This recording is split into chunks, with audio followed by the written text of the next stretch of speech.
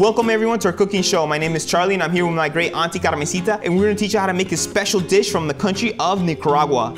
No, pronuncia bien. Nicaragua.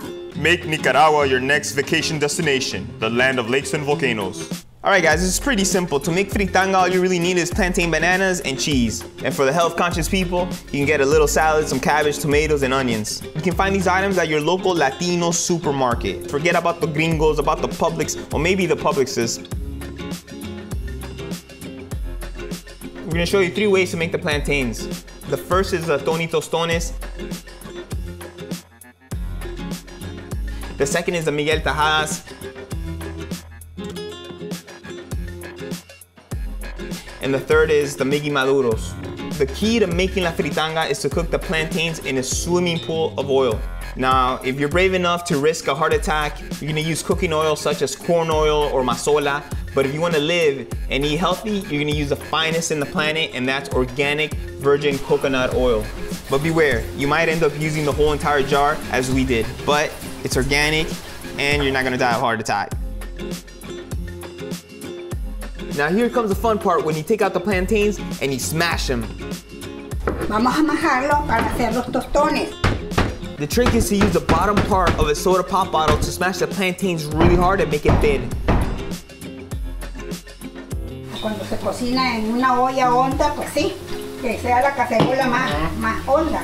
¿Tienes papel toalla, hijo? Sí. ¡Hala! Se me acabó. Servilleta, dale la servilleta. ¿Servilleta te funcionaría? Ya. También. La producción es un desastre de madre. Ni tienen papel toalla para los platanitos. Carmencita is my auntie. She's from Nicaragua. She's four foot something. She's an amazing cook, amazing fritanguera. Anything that's Nicaragua cuisine as well as international. All those recipes are in her head and she's never written it down. So I'm just trying to extract some of them, put it on a video so they can live on forever.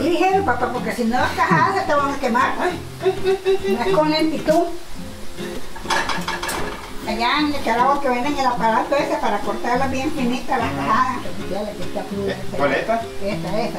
¿Esta también? Esta cruda de ese lado. Aquí tenemos a la estrella del cine Carmen Amaya, reconocida por sus aficionados simplemente como Carmencita. Miremos a la Carmencita cocinando en su ambiente natural. Habla, Carmencita. Estamos preparando el queso para freírlo. No tan delgadito. ¿No tan papá. delgadito? No tan delgado porque entonces no te va a funcionar.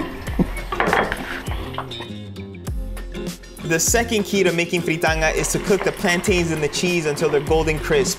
La Carmencita sigue como si fuera nada. ¡Qué energía! Como si fuera las 9 de la mañana. Desde las 12 me recogiste para hacer esto hasta las 7 de la noche. 10, 11, 12, 13, 14, 15, 16, 17. Y el que se comió es 18. 18 pedacitos salieron de la libre queso. Y este, este es el que se cayó en el Sí, piso. Y recupera. La Carmencita. Lo que no mata engorda. A ver el aceitito para que el señor... El director. El director sigue sufriendo Ay, su coco. Way back in 2007, I discovered about the many benefits of using coconut oil. It keeps you lean, gives you great looking skin, and it makes you look young, like a Hollywood star.